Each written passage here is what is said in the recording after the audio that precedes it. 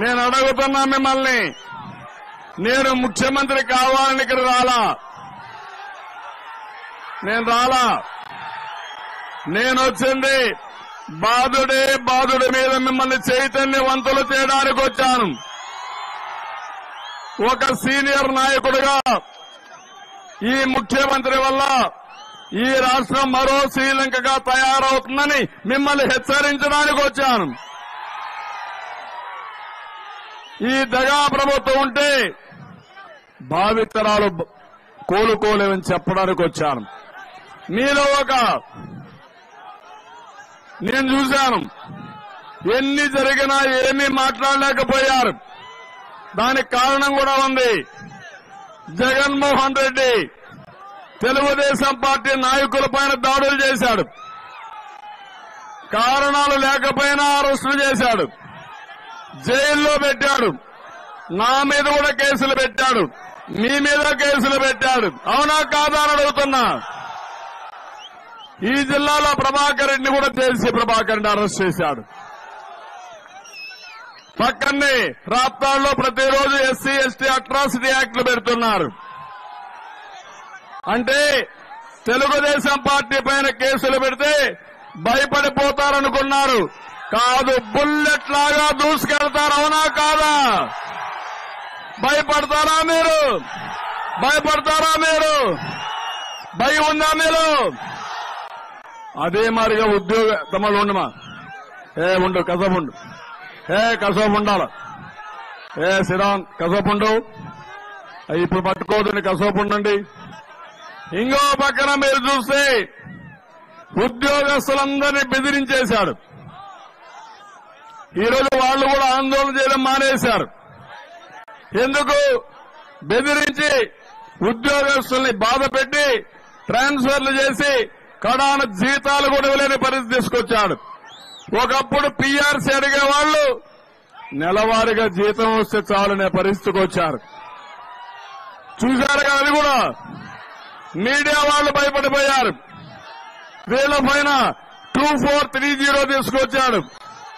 ఎవరైనా media watch పెట్టి ఎవరైనా కానీ రాస్తే కోర్టు కేసే విధంగా వీళ్ళని వేధించాడు తప్పుడు కేసులు పెట్టాడు. రాజకీయ పార్టీల మీద కేసులు పెట్టాడు. ప్రజల పైన దాడులు చేశారు. ఏ తమిళలో ఉండాలి. ఏ ఉండు. అయిన వరకు పెట్టు. చెప్పింది నాలుగు కసోపు. ఏనండి కసోపునండి ఎవరో ఒకరు ఉంటారు టెక్కామని చెడగొడతా ఉంటారు. కసోపు విన్నాక మళ్ళీ లాస్ట్లో పెట్టుకుందరు. అలాంటి మీరు చూస్తే ఈ రోజు అందరినీ బెదిరించి భయభ్రాంతులు చేశాడు. ఈ జగన్మోహన్ రెడ్డిని ఎవరు మంచి చెప్పినా ఎవరు హితో పలికినా వాళ్ళని విరోధులుగా చూస్తున్నాడు. నేను ఒక అపోజిషన్ లీడర్గా మీరు నాకు ఒక హక్కు ఇచ్చారు. ప్రజా సమస్యలపైన పోరాడమన్నారు. అవునా కాదా అని మిమ్మల్ని అడుగుతున్నా. నేను పోరాడితే జగన్మోహన్ రెడ్డికి నేను విరోధిని. నా మీద పార్టీ మీద కేసులు పెడతాడు. సాక్షాత్ అసెంబ్లీలో చూశారు. నన్ను బండబూతులు తిట్టి విమర్శిస్తే కడాన నా భార్యను కూడా విమర్శిస్తే వ్యక్తిగతంగా దూషిస్తే నేను ఆ రోజు ఆలోచించాను. ఇది గౌరవ సభ కాదు. గౌరవ సభ.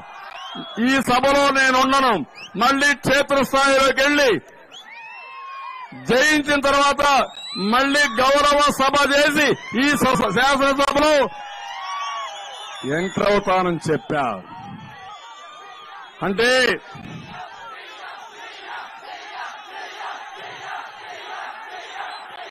అంటే ఒక మర్యాద ఉందా తమ్ముళ్ళు?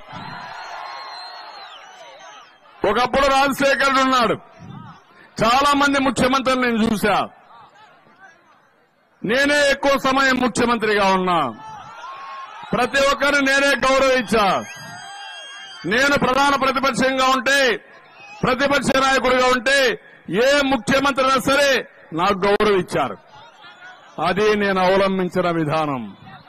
కానీ ఎప్పుడు కూడా రాజకీయం సమ ఉజ్జీలతో చేయాలి.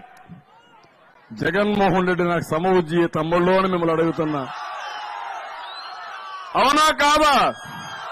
సమ ఉద్యన వాళ్ళ నాయన కంటే ముందునే ముఖ్యమంత్రి అయ్యానా లేదా? ఈరోజు ఎవరి కోసరం పోరాడుతున్నా? ఎవరి కోసరం? మీ కోసరం అవునా కాదా? నేను మీ మారిగా నేను కూడా భయపడి ఉంటే ఏమయ్యేది రాష్ట్రం? ఏమవుతుంది రాష్ట్రం? అదే నా బాధ ఆవేదన. అందుకే నేను వచ్చినప్పుడు చూశాను. శ్రీకాకుళం పోయే మునుపు చాలా మంది రోడ్డు మీదకి రాలా. బాధ ఉంది ఆవేదన ఉంది కానీ భయం ఉంది. ఎప్పుడైతే శ్రీకాకుళం పోయానో కట్టలు దించుకొని బయట వచ్చారు ఎందుకు మీరు ఒకసారి చూడండి. ఎలాంటి ఆలోచన అంటే పక్కనే సత్తార్ నంద్యాల. అతన్ని వేధించారు. బాధపడ్డాడు. వేధించిన తర్వాత బాధపడి అతను చనిపోవాలనుకున్నాడు. ఆయన చనిపోతే ఆయన భార్యని ఏం చేస్తారో తెలియకుండా భార్యని కూడా చంపేసుకుని ఆ ఇద్దరు కలిసి ఆత్మహత్య చేయాలనుకున్నారు. కానీ పిల్లలు జ్ఞాపకం వచ్చారు. వాళ్ళు అనాథలైపోతారని నలుగురు పోయి ఒక ట్రైన్ దగ్గర ట్రాక్లో పెట్టి ఆ ట్రాక్కు వీళ్ళందరినీ కట్టేసి ఆ ట్రాక్ కింద పడి చనిపోయాడు అంటే ఎంత భయంకరమైన మరణం తమ్ముళ్ళు మీరు ఒక్కసారి ఆలోచించమని కోరుతున్నా. అవునా కాదా? భయం అవునా కాదా? అంటే ఈ రోజు రైతులు ఉన్నారు తిరుగుబాటు చేయలేకపోతున్నారు అప్పుల పాలవుతున్నారు ఏం చేస్తున్నారు? ఏం చేస్తున్నారు? ఆత్మహత్యలు చేసుకుంటున్నారు. ఆత్మహత్య చేసుకుంటున్నారు. నేను అందుకే అడుగుతున్నా అక్రమ కేసులు పెడతారని ఆత్మహత్య చేసుకోవద్దండి. ఈ వైఎస్ఆర్ కాంగ్రెస్ పార్టీకి ఊరేయాల్సిన బాధ్యత మీ అందరి పైన ఉంది. ఆ రోజు తొందరలోనే ఉంది. ఒకవేళ పెడితే కేసులు పెట్టలే నేనున్నా మీకంటే ముందు నేనుంటా. పోరాడుతా. ఇంతమంది పైన కేసులు పెడతారా తమ్ముళ్ళు? అక్కడి నుంచి బయలుదేరితే ఒక్కొక్క ప్రాంతంలో కట్టలు పెంచుకున్న ఆగ్రహంతో బయట వచ్చారు ఊరూరు వస్తా ఉంటే పెరిగారు. ఈరోజు సోమందే పెళ్ళికొస్తే నాకే అర్థం కాల కళ్ళు తిరుగుతున్నాయి మీ ఉత్సాహం చూస్తా ఉంటే. మీ కోపం చూస్తే నాకే ఆవేశం వస్తా ఉంది. మీకంటే ముందు నేను ఉండాలనే కసి కక్ష పెరుగుతున్నాయి. ప్రతి ఒక్కరి బాధ ప్రతి ఒక్కరి ఆవేదన మీరు మీ సంఘీభావం ద్వారా నాకు చూపించారు. నేను ఒకటే చెప్తున్నా నేను మీకు ఒక భరోసా ఇవ్వడానికి వచ్చాను. మీకు ఒక హామీ ఇవ్వడానికి వచ్చాను. మీరెవ్వరూ భయపడవలసిన అవసరం లేదు. భయపడుంటే మన పెద్దవాళ్ళు స్వాతంత్రం కోసం పోరాడేవాళ్ళు కాదు. నిన్నే చూశారు. శ్రీ శ్రీలంకలో అక్కడుండే ప్రధానమంత్రి ఇదే మారుగా చేశాడు. ఎక్కడికక్కడ ఆయన చేసింది చూస్తే మొత్తం లూటీ చేశాడు. ప్రభుత్వ ఆస్తులన్నీ కాజేశాడు. అప్పులు తెచ్చాడు. దాంతో దివాలా తీసింది కంట్రీ.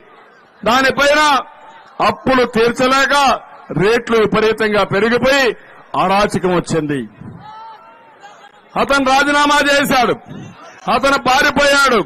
కానీ ప్రజలు మాత్రం వదిలిపెట్టే పరిస్థితులు లేరు. తమ్ముళ్ళు అదే గది మన జగన్మోహన్ రెడ్డికి అవుతుందని చెప్పి నేను మీకు తెలియజేస్తున్నా.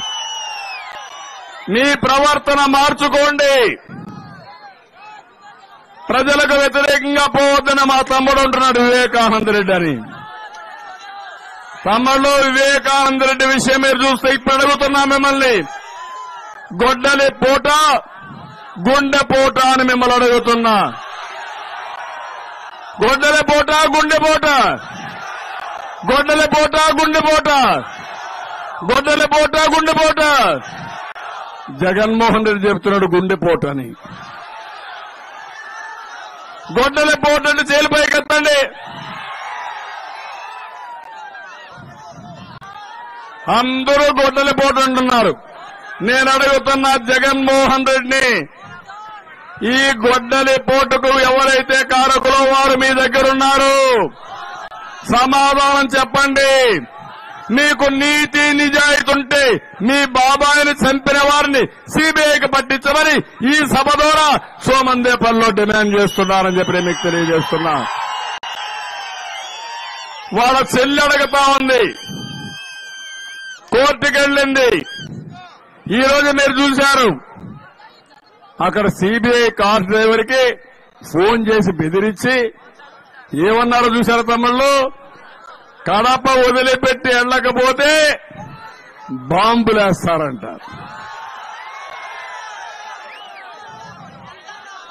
మీకు బాధ అనిపించలేదా పోలీసులు బాధ అనిపించలేదు తమ్ముళ్ళు. మీరు కూడా రేపు కేసు పెడితే మీ మీద కూడా బాంబులేస్తారు. సిద్ధంగా ఉండండి. ఇది ఎక్కడ న్యాయం? నేరస్తులకు అధికారం ఇస్తే ఇదే జరుగుతుంది రాష్ట్రంలో. ప్రజాస్వామ్యాన్ని కాపాడుకోవడానికి మీరు ముందుండేవాళ్ళు ఎప్పుడు? ఎనభై నాలుగులో ఎన్టీ రామారావు గారిని పదవి నుంచి తొలగిస్తే అనంతపూర్లో ప్రాణ త్యాగాలు చేసి ఎన్టీ రామారావు గారిని ముఖ్యమంత్రి చేసిన ఘనత మీదే.